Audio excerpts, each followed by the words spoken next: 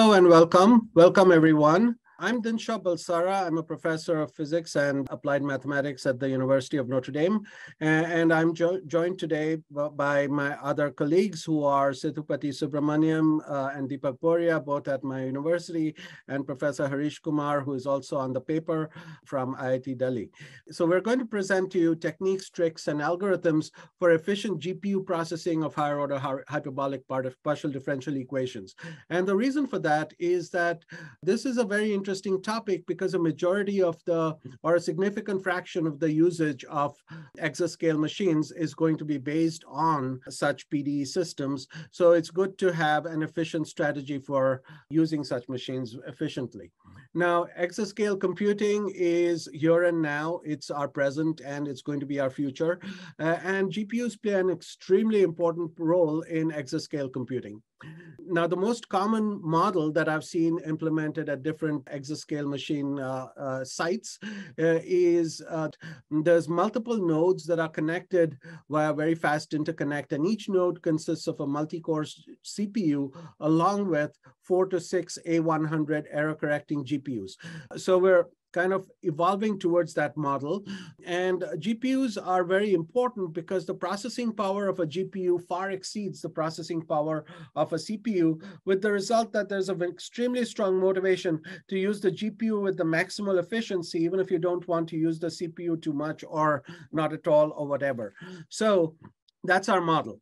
Now, GPUs do come with some limitations. First of all, the maximum memory on the, on the typical GPU is about 80 gigabytes, whereas on the node, you'll have something like two or three terabytes of memory, which basically means that if you do a simple division calculation, uh, eight, uh, two, uh, two, two terabytes, which is 2000 gigabytes divided by 80 gigabytes, you come up with a number like 26, which basically means that you have to chunk up your data into smaller chunks, 26 or so chunks, each of which can be sent, uh, um, you know, four at a time or six at a time to the GPU. So that's going to be our model uh, with which we have to work because all these high performance exascale computing applications are always done where you're using all of the resources, memory, as well as computing resources of the machine to the absolute max. Uh, so that's the life we have to live with. So that the limitation limitation, the memory limitation of the CPU basically forces us to such a processing model.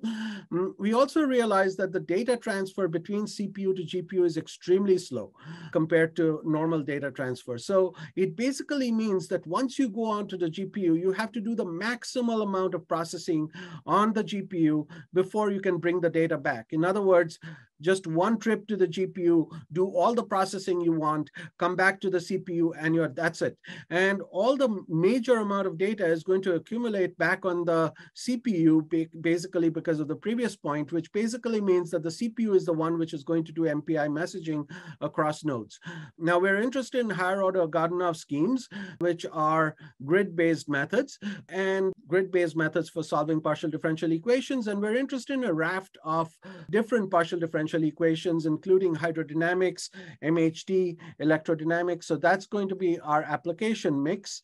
And you can see that because of this application mix, we're going to have to use the GPU very efficiently. Now, all of these applications require CPUs with rather large caches. So it basically means that if you want to use GPUs, you have to choose out the specific set subset of algorithms that are available which use the GPU's cache in the most parsimonious fashion. So that's also kind of a conflicting demand that is placed on us. Now, what we realize is that we have a whole raft of possible uh, algorithms that we can use in the package of higher order Godunov schemes, but only a few of them meet all the three requirements of using very small amount of memory, of having very efficient processing on the CPU, on the GPU once it's there, and on working within the confines of the small GPU's caches. And we also want to understand, have an application that is minimally intrusive. That is to say, we don't want to tear down the whole code and write another CUDA code because that would make it impossible for us to meet the verification and validation standards that are there for the code. So what's a typical hyperbolic partial differential equation? It can be written in this very simple form. du by dt plus f times du uh, uh, plus du by dx of the fluxes is equal to zero, which basically means that at each zone in the computation, you have a slab of fluid like the one shown out here. And therefore, what you do is that each slab of fluid, for example, this slab out here, evolves in response to the fluxes that are going across the boundaries of your computation. So there are two ways of doing time stepping. One is to use Runge-Kutta time stepping, which uses multiple stages, or the other is to do ADER, which is a one stage up, uh, update. And what you realize is that the ADER is better because it only involves one trip to the GPU and back, whereas the two stage Runge-Kutta or the multi stage Runge-Kutta will use multiple trips to the GPU and back. So the algorithms are all based on the idea of first doing a reconstruction, then doing a predictor step to evolve in time, and then doing a corrector step, which uses Riemann solvers to stabilize the calculation. So with that, let's look at the available choices that are available consistent with the limitations that we have on the GPU, namely sm very small amount of main memory, very small caches, and very expensive to move data from G CPU to GPU and vice versa because of the low bandwidth. And we see that uh, you can actually read this in the paper, so I won't belabor this too much, but there are multiple choices for how to do the reconstruction and in which variables to do the reconstruction. This is all detailed in the paper. Also for the time stepping, out of all the available choices, only one remains as a good option. Also out of all the possible Riemann solvers, only one remains as a good option. And the, the conclusion is that despite the fact that there are many algorithms available in the higher order Godunov toolkit, only a few of them go through when it comes to meeting all the limitations on the GPU. So it's like literally like threading a proverbial needle. Now, we also need a minim minimally intrusive approach because thousands, literally many tens of thousands of man hours have been spent on developing, verifying, and validating these codes, which means that a full CUDA-based tear teardown is not an option which basically means that we have to retain an open OpenACC type approach. And we have to ensure, because of the verification and validation requirements, that the CPU and GPU results are virtually identical. So that is what I will show you at the end of this talk. Now, the way we've designed this paper, which is due to, which is in a late stage of review for CAMC, is that it's designed to be a one-stop shop for anyone wanting to port any higher order Godunov scheme to GPUs using OpenACC. So this is an example of a pseudocode. Now, a real code, uh, a real hydrodynamics code would have multiple other features in it. Namely, it would even have an MPI-based substrate for kind of exchanging data across nodes. I'm not showing that because I'm showing you the most basic type of hydrocode that you could write. And what you'll see in all the pseudocodes that I will show, and I will show a few, is that the OpenACC pragmas will always be shown in red. So you see that we have some OpenACC pragmas to ensure that some pieces of data like these ones out here can be taken from the CPU to the GPU or can be created on the GPU so that we can work on the GPU. Now, another important thing is that you will see that we have new data constructs being introduced. And the whole idea of introducing these new data constructs, which are introduced in blue, is that we're declaring a very small number of variables. And this very small number of variables contains the minimal amount of data that needs to migrate from CPU to GPU and then back again after it's been processed from the GPU back again to the CPU. And in Magenta, you're going to see the one and only subroutine extra new subroutine that we had to introduce, namely this one out here, so that we could actually go ahead and unpack the data that we're moving to the CPU. Uh, I'm sorry, to the GPU. So that is the idea out here. So we have C, C++ versions of the pseudocode also documented in the paper. And the idea is that if you have a good OpenMP code, you will actually be able to write good OpenACC code. So that's kind of giving you an idea of where, where you need to get started. So let's look at the only new structure, the only new subroutine that we had to introduce. It basically takes the minimal amount of packed data that we have, which has been sent over to the GPU, And then it basically unpacks it in this loop. But this loop itself shows you something very important. It shows you, shows you, first of all, that the same private and shared structure that you have for CPUs is also available on GPUs, except it's called private and present. So you make use of that. And the other thing that it shows you is that on a, on, on, a, on a CPU, if you're using OpenMP, you're probably going 32 or 64 way parallel. But you have to remember that on a GPU, you're literally going 5,000 way parallel. So if you're going 5,000 way parallel, the only way you're going to exploit all that parallelism is with collapse three. And so that's the idea out here. So the pseudocode for the reconstruction is shown out here. And it's a very simple pseudocode. Again, if you understand the uh, whole notion of CPU computing, you understand the whole notion of GPU computing. But the important directive is this data copy in and the update device that you have to use. So there's not much by way of insight on the uh, reconstruction front. Now, the predictor step that is there in each of these applications is extremely important. And this is a very computationally expensive step. And therefore, what you what we have to do is understand that we will actually have to go ahead and declare or have a subroutine which does this predictor step. And this subroutine will have to be declared as sequential. And you match it up with a corresponding sequential call out here. And that's the important idea out here that we have. Then if you go into the Riemann solver step, this also has the same idea that you see out here, namely declare the Riemann solver to be sequential and match it up with pragma inside this uh, subroutine itself, saying that it is sequential so that it can, it can be processed in a serial fashion. Namely, it can be processed where each subroutine entry is viewed as independent of every other subroutine entry. And with this, we come to the last piece of pseudocode, but the whole idea is that we packed all that data up into a single variable. And here you see us repackaging it after the update so that we can now take the data back from uh, GPU to CPU, and that's very important. So this reduction operation is also shown out here, which is kind of giving you one-stop shop so that you can actually go ahead and understand how reductions work.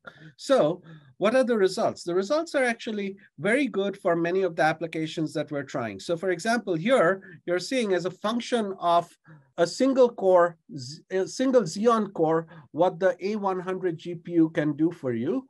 And so this is showing you the GPU speed up relative to a single CPU core. And as a function of the number of zones that are in each of the patches that is moved across.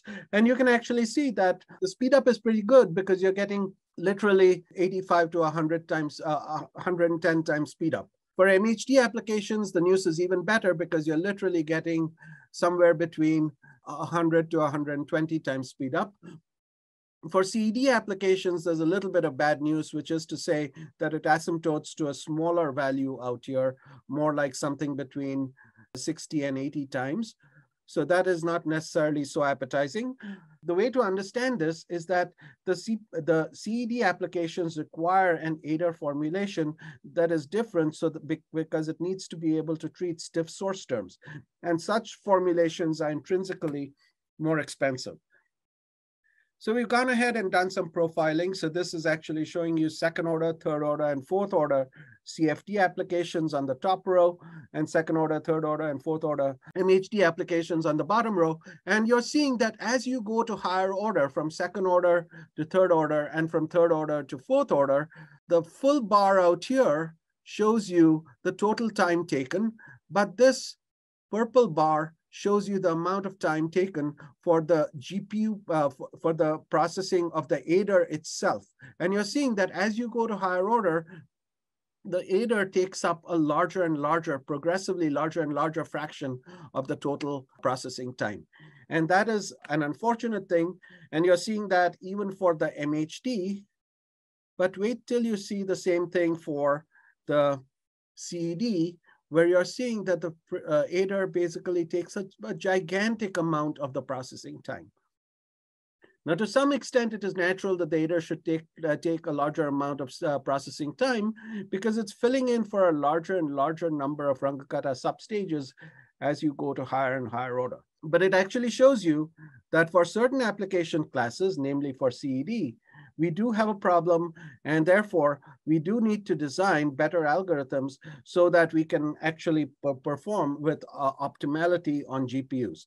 And uh, my most important takeaway from this is that it's very value, valuable to co-design algorithms that are tailored to meet the strengths uh, and avoid the weaknesses of the GPUs.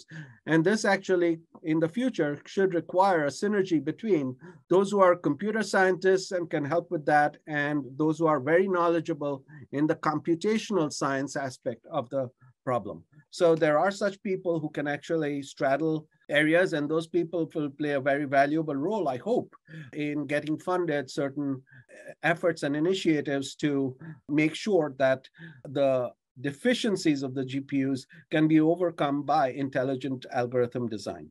So with that, the other alternative would be to actually use Runge-Kutta instead of ADER. So we've done some profiling on that front also. So what is the next best choice uh, uh, compared to ADER? The answer is the next best choice is to use Runge-Kutta. But you're seeing out here that if you use Runge-Kutta, which is shown with the dashed curve compared to uh, using ADER, which is shown with the solid curve, you're going to have a decrease in the performance by a significant factor from year to year or from year to year. So you're going to get basically a factor of two or more decrease in performance if you go from ADER time stepping to Runge-Kutta time stepping. So it actually shows you that to some extent, the choices that we've made are indeed as optimal as they can possibly be in this circumstance. Now, we began this talk by saying that we want to do higher order Godunov schemes, which basically means that I have to show you that we're indeed meeting the order of accuracy property, both for CFD where you're seeing that our second order scheme performs with second order accuracy, our third order scheme performs with third order accuracy, and our fourth order scheme performs with fourth order accuracy. Likewise, we do the same thing for MHD, and likewise, we do the same thing for CED, which is computational electrodynamics. So we actually go ahead and meet the accuracy requirements, which is extremely valuable and extremely useful for verification and validation exercises. And the nice thing about these error correcting GPUs is that we can literally literally show that the error on the GPU minus the error on the CPU, absolute value thereof, is absolutely bounded to less than one part in 10 raised to 10, or for the most part, less than one part in 10 raised to 12 or 10 raised to 14. And you see that here for the CFD application. Likewise, you see that here for the MHD application. Likewise, you see that here for the CED application. And so these two are the strongest wins in the sense that it shows us that if you do your calculation on a CPU or, or on a GPU, you will be roughly speaking, 80 to 100 times to 120 times faster than a single core CPU. So that's a very good news. It shows that the uh, GPU does register an obvious win. It also shows us that we meet all the design accuracies. We're not losing anything by way of validation and verification if, if we go ahead and move everything to a GPU and do it intelligently. And it also shows us that indeed we get answers that match up literally exactly but by about one part in 10 raised to 12 between GPU and CPU. And that's very good news.